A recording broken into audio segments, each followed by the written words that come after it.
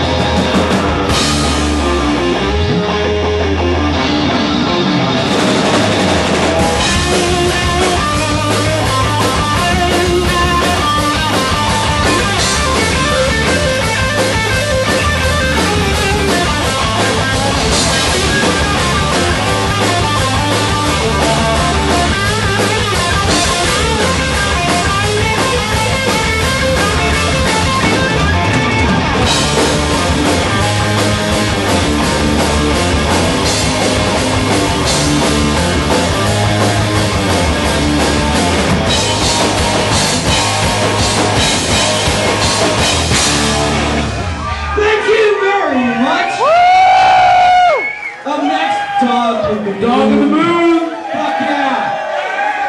We want to thank Jimmy Chunga Ryan.